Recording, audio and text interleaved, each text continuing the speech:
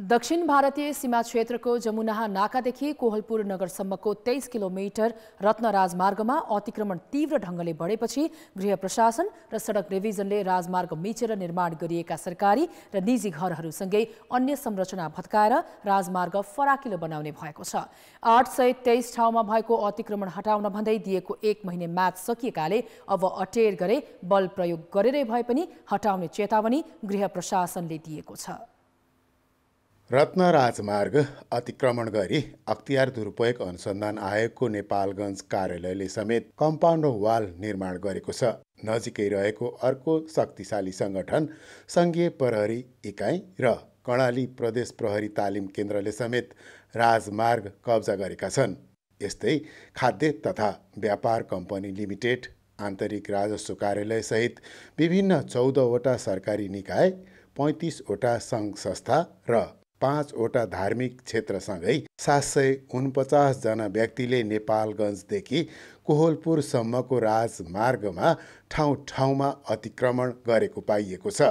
सार्वजनिक सडक ऐन दुई हजार एकतिसको दफा तिन अनुसार सरकारले दुई हजार चौतिस साल असार बिस गते जारी गरेको सूचना तथा राजपत्रमा सीमा नाका जमुनादेखि कोहलपुरसम्मको तेइस किलोमिटर रत्न राजमार्गको चौडाइ एकतिस मिटरको हुने भनिएको छ।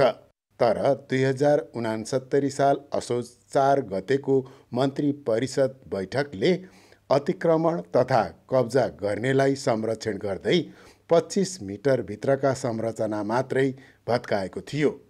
प्रशासनले बल प्रयोग गर्नु पर्यो आवश्यकता देखियो भने त्यो पनि हुने सम्भावना चाहिँ हामीले त्यो तयारी पनि गरेका छौँ। त्यति बेला राजमार्ग विस्तार गर्दा एकतिस मिटरभित्रका पुरै संरचना नभत्काइँदा र अतिक्रमण पनि थप बढेर राजमार्ग साँगुरो भई दुर्घटना बढ्न थालेपछि पुनः अतिक्रमित संरचना हटाउने निर्णय गरिएको हो। सडकको केन्द्र रेखाबाट दुवैतर्फ दायाँ बायाँ पच्चिस पच्चिस मिटर चाहिँ सडक सीमा रहेको र त्यस पछाडिको छ छ मिटर गरेर सेन्टरबाट टोटल एकतिस एकतिस मिटर चाहिँ छोड्नुपर्ने हो घर अथवा थाई संरचना बनाउनलाई। तर राइट अफ वे चाहिँ पच्चिस मिटर भएको हुनाले अहिलेको लागि चाहिँ हामी चाहिँ पच्चिस मिटरसम्म चाहिँ क्लियर गरौँ भनेर त्यसको लागि चाहिँ लाग्यो।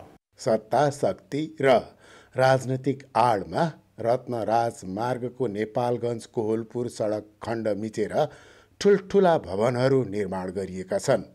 प्रशासनले सामान्य अनुरोधमा अतिक्रमण गरी निर्माण गरिएका भौतिक पूर्वाधार नहटाए बल प्रयोग गर्ने चेतावनी दिएको हो। कान्तिपुर समाचारका लागि सविता जीसीका साथ जे पाण्डे नेपालगञ्ज बाँके।